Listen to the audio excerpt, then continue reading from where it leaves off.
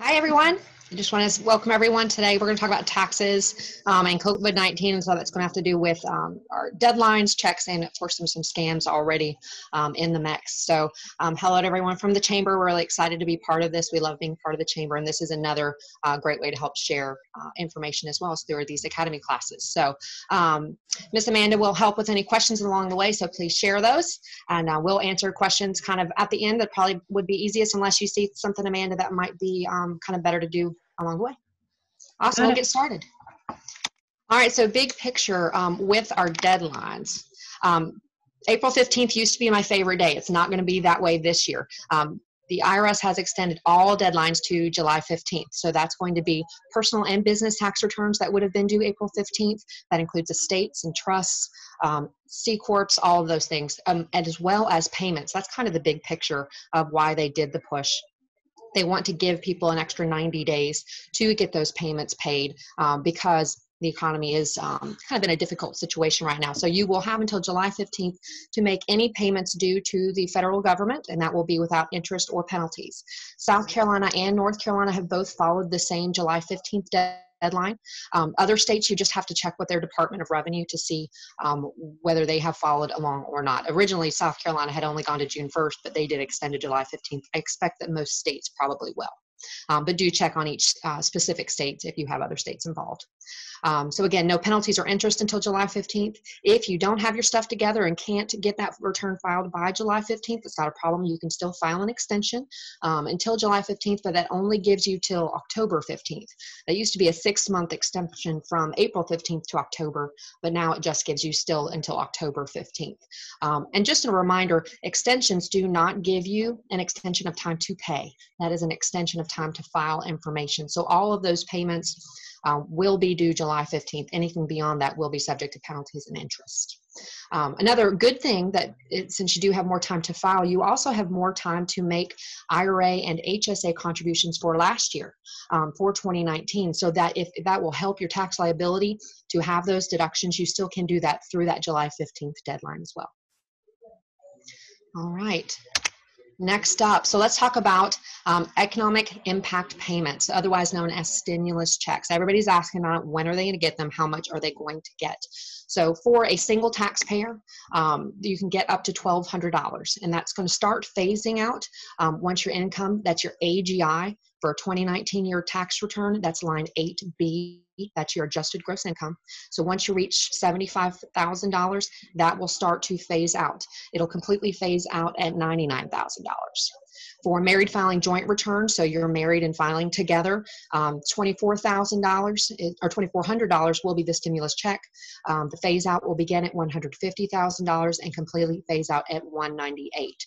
Um, so what does that mean if you're in between? It's going to adjust um, $5 less per every $100 they make over the limits. And that's really confusing. So let me give you some examples of what that means. So for a single filer, if you make $80,000 on that AGI, you're going to get $950. 85,000, you'd get $700. 90,000, you get $450. Uh, for married filing jointly, if you have if you AGI is 160,000, you'd get $1,900. 170,000, you'd get 1,400. 190, you get 400. Now we also, of course, have head of household kind of in between. Um, so that phase out for head of household is going to be 136.5. That's when it'll start to phase out. And then you'll completely phase out, oh, I'm sorry, it'll completely phase out at 136.5. So it for AGI head of household at 115, you get 1,075. 120,000, you get 825, et cetera, et cetera. Um, there is actually a really good calculator on what you'd get if you go to Forbes.com. That's been the uh, most helpful one I've found yet. So I love Forbes, great website, lots of good information. So you can use the calculator there. Um, for you'll also get $500 for each qualifying child. These are dependent children under 17. So basically, if they qualify for the child tax credit, you'd get an additional $500 for each child on the tax return. Um, so they, they, you do have to claim them. They can't be claimed by anyone else for you to get it. Um, something to keep in mind here, children 18 to 22 who may still be dependents, let's say they're still in high school or in college but have aged out of that child tax credit, they don't get anything. They're not going to get anything because they're claimed as dependents, and you're not going to get anything for them because they're over that 17 year old thresh 17 year old threshold. Um, in order to get any check, you do have to file a tax return to receive this payment. Um, it's first going to be based on your 2019 tax return. If you've not filed your 2019 tax return, then they will look at the 2018 tax return. If you've not filed any of them, you're not going to get any of them. So we're, encouraging people to get uh, caught up on their tax payments as quickly as possible. Uh, we're open in both offices and are pretty steady still, even with all the craziness going on. Um, so again, you can't be claimed as a dependent, and that's going to go for adults too. Um, we see some people they'll want to claim their uh, girlfriend or their parent. If the person is claimed as a dependent, they will not get any stimulus payment, and you won't get anything for them if they're over 17. Um, one big change this week um, on Monday, um, the IRS had submitted that people who are on Social Security and not required to otherwise file um, would have to file a simple tax return in order to get the payment. Um, there was a lot of pushback um, and people appealing to Congress to uh, prevent that because one, we don't want our seniors to be coming out right now. Really, we don't want them exposing themselves to have to file a tax return to get the stimulus payment. Um, plus, it's an undue worry burden for them. Um, so we don't, you know, they were able to change that. That was announced on April 2nd um, at wait no April 1st at night very late at night um, they will not have to file a tax return in order to do that. They will match up against the uh, rolls of Social Security uh, after all of those have been um, submitted because there are a lot of people on Social Security who do already file so they'll double check against that. Anyone who has not already received a payment will then get theirs based on Social Security. Amanda do we have any questions we want to go ahead and address? I've seen the the hands raised a couple of times yeah, we have a question um, asking if there's an update on the portal they were going to set up to change your direct deposit information. Ah, that's a great question. That's actually on our next slide, so we'll go right to that. All right, so how are you going to get your payment? So it'll be direct deposit or check, and that'll be the same as the last tax return filed. Um, so you'll want to make sure that your address and direct deposit is up to date. So if your direct deposit has changed, what do you do? They are, they say they're going to have a portal for people to update their direct deposit. Now, how long that will take, we don't know. Um, at this point, if they don't have an up-to-date uh, direct deposit for you, it typically will then revert to a check if it bounces, um, and then that would take more time. If depending on when they can get this portal up and running, that would of course expedite that process. Did that answer the question? Okay. All right, let's see. Now, as far as when we're going to see the first, um, we'll say checks. Um, Mnuchin says two weeks for the first direct deposits. I, I, I think two to three weeks might be the case, but it will not be all done at once. It will be in, they release it just like they do social security checks and, and other things in the past. It'll be in stages. Um, he's saying in the next two weeks. That'll be, you know, we'll have to see on that. Um, the big issue is that checks could take much longer. Um, I've seen up to 20 weeks and that's a long time. So um, if you've not filed or if you have not updated that direct deposit information, I definitely um, would recommend doing that. Um, as far as changing your address, if you need to do that, there's a form 8822. Um, you would have to mail that in. It does take about four to six weeks for them to update that in their system. So if you do need to change your address from what was on the last filed tax return um, for 2019, then go ahead and do that now. If you haven't filed your tax return for 2019, do it now because that automatically updates your address electronically um, and will save a lot of headache um, in the long run. And then if you have direct deposit, you can go ahead and include include that too, because that will um, expedite the process. Um, the big issue with um, Social Security recipients, as I mentioned, they're going to have to, if they don't file a tax return, um, they will have to match up those that have already received payments versus what's on the Social Security um, rolls. I, I, anticipate that we're going to see those um, payments to Social Security recipients only it's going to take a while um, because that takes time to kind of go through all those lists. So I just want to give people a warning um, out there.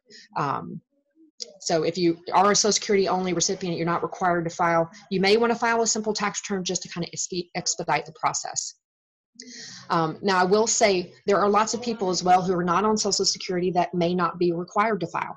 Um, that might be someone that only made a couple of thousand dollars, they don't have any kids, they didn't have much withheld. Um, really, for a single person, the filing threshold is at $12,000. That's or 12,200 this year. That's your standard deduction. So if you make less than that and you're not qualified for any credits, you may not have filed. Um, in order to get this stimulus payment you will need to file. So if you know anyone in that situation who didn't file or, or is behind on their taxes, if they want to be eligible for this, they need to file a tax return. Could be 18 or 19. Um, and whether they file 18 or 19 may depend on their total income. Remember those phase out thresholds. If their income is 18 is much less than 19, they may want to hold off on filing their 19 return until they get these stimulus checks. All right, the other question I get a lot is what about offsets? Um, there are some people who owe back taxes, they might owe um, student loans or other government entities. Um, they are not going to offset these stimulus checks um, according to the law as it's written, except for child support. That's the one thing that I have seen that they will offset these stimulus payments for, and that is for uh, child support. Um, so, what if you didn't qualify in 18? You made too much money. Maybe you made too much money in 19 too. What happens for 2020? That's a great question. So what this will then become is a refundable credit on our 2020 tax return. We have a lot of people who were making good money in 18 and 19, but this year is going to be a different story. If you didn't get it based on 18 or 19 and your income changes significantly, that you would have been eligible for it in 2020, it won't help you now, but you will get it as a credit on your 2020 tax return. Another question I'm getting a lot is, well, am I going to have to repay this if my income is out of this threshold for 2020? As of right now, as the law is written, there is no repayment um, uh, method in the tax return, only a way to get it if you did not in 2020. All right, any good questions now, Amanda?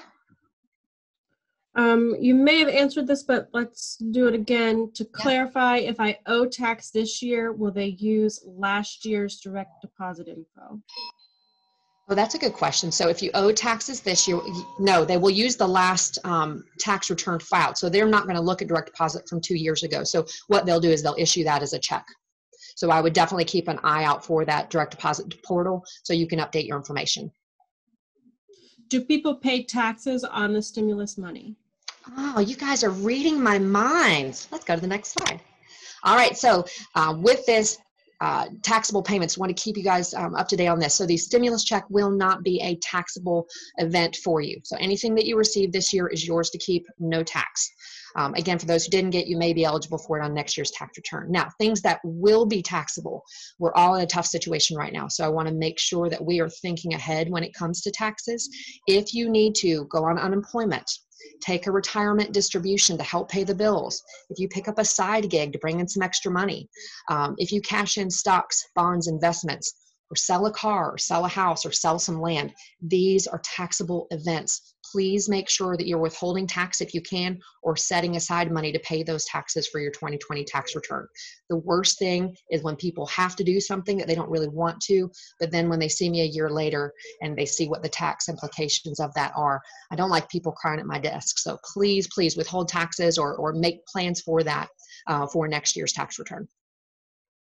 Very good. Um, and then last on my list here is scams. There are already scams. I have already seen pictures of bogus checks out there. No checks have been released, I promise you. If you get uh, a call from the IRS, it's not the IRS. They're not going to call you. They will not email you. They will not text you. If you receive any of that, these are all phishing schemes trying to get your direct deposit and other information. Do not give them that disinformation. Um, something to keep an eye out for on any of these communications will be how they're wording it. If they call it a stimulus check or a stimulus payment, that is not correct. The IRS is only referring to this as an economic impact payment. So make sure that you know that's what you're saying because that is the official term. Um, if anybody offers to help you get faster payments for a fee, um, or you have to give them your personal information in order to do that. Don't do it. This is people trying to get your information. Um, if you get a bogus check that might be less than the amount you're expecting and says you need to call this number to reconcile it, that's also a scam. So make sure that if it seems odd to you, check with a professional. You can call our offices.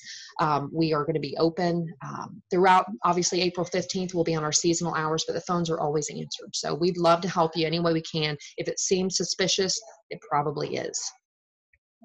All right. What else do we have, Miss Amanda? No new questions right now. All right, guys. So I'm welcome for any questions. Oh, I see one popping up here. Yep. Uh, the SBA loan is getting a lot of attention right now. You can qualify for the grant up to $10,000 Um, any recommendations on applying for that or if it's too good to be true? Um, that's a great question. I, you know, I'm not a lender, so that's not really something I can speak a lot to other than I've done um, a little bit of research on it myself. They only released the, the loan application information to banks last night, late last night. So a lot of banks are still sorting through the 31 pages um, of information, the guidance. Um, I will say if it's something that you need to get your business through right now, look into it. Talk to your local lenders. We've got a lot through the chamber who will be happy to answer the questions um, that you have based on the information they have. A lot of this information is still developing. And with everything I've even talked about today, we've had major changes on several of these points, even this week. So a lot of it's a fluid situation. Um, we're trying to help people the best we can. So just make sure that you know you're keeping up with it because it could change um, as more things develop. Other questions?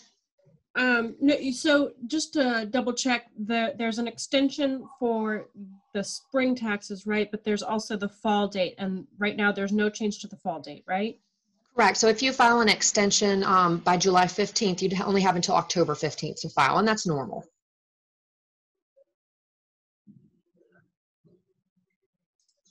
All right, anybody have any other questions for Sam?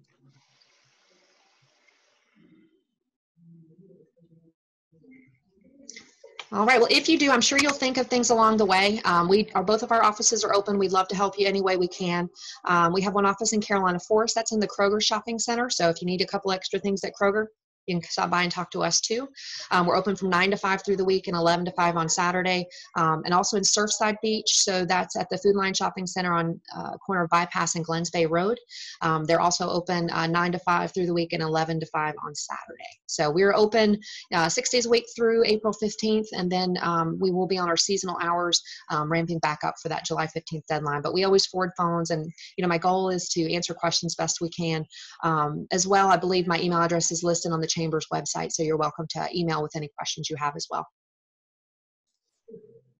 All right. Um, so also the Facebook live stream locked up, um, but I did record this and I'll post it that way. If we get any questions, we'll send those. Um, but if you guys have more questions um, as you're thinking about this, go ahead and post those on Facebook um, and we can get those over to Sam and try to answer. Oh, I think we've got one more. Oh, that was thanks. Yep, absolutely glad to help. All right. Last chance to ask a question. All right, I think we're good, Sam. Thank you so much for hosting this. And Sam, also really quick, um, I think I saw you guys are doing like a curbside drop off too. Yes, we'll do it anyway. We have a couple of different options. They can drop off. Um, we'll take it out to the car for them. They just have to call when they get here. Uh, we have virtual um, preparation. They don't even have to come in. If they have the ability to scan and upload documents, we have a secure file server. They can do that. Um, we're trying to make it as easy as possible for people without exposing themselves unnecessarily. All right, that's awesome. So kudos to you guys for thinking ahead and, and trying to maintain social distancing, even though this is a busy time for you. So that's that's really cool. Absolutely. All right, thank you guys. We'll see you in the uh, webinars next week. Make sure you go to myrtlebeachareachamber.com. We've got um, lots of webinars, some on coping with anxiety and self-care next week coming up. I think you guys will find those really useful and we'll see you in the next one. Awesome. Thanks, guys. Bye.